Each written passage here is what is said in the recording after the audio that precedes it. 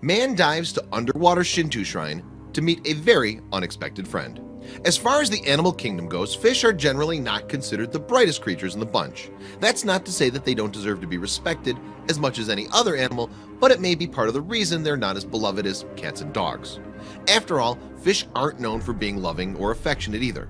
They make nice pets to keep in a tank and stare at for a while, but it's not like you can pet them or be affectionate with them. One fish in Japan, however, might just break a few stereotypes.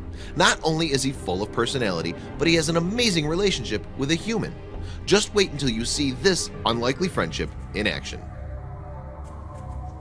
There are certain animals that practically become the mascot for areas in which they're found. Much of the time, this kind of portrayal is reserved for the stuff of legends like the Loch Ness Monster or the Bigfoot of the Pacific Northwest.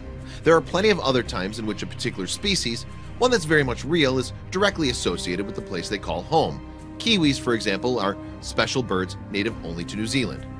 With that in mind, the sacred Shinto shrine beneath the surface of Japan's Tateyama Bay has long been known for its historical and spiritual importance. But over the course of the past 25 years, it's become notable for another reason too. Entrusted with overseeing an underwater shrine beneath the surface of Japan's Tateyama Bay, as well as guiding others who would like to visit it, local diver Hiroyuki Arakawa has developed a strong and deep relationship with much of the marine life in the area. Yet there's one magnificent fish in particular whose story you absolutely need to see.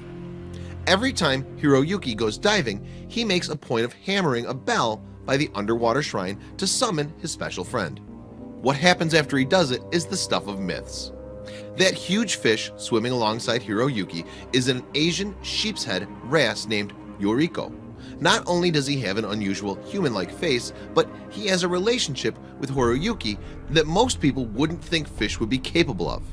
In fact, Yoriko has such a close relationship with his human friend that he allows the diver to touch him. He doesn't even flinch at all when Hiroyuki pets him.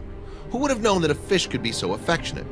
At one point, Hiroyuki even started taking off some of his equipment while still deep underwater.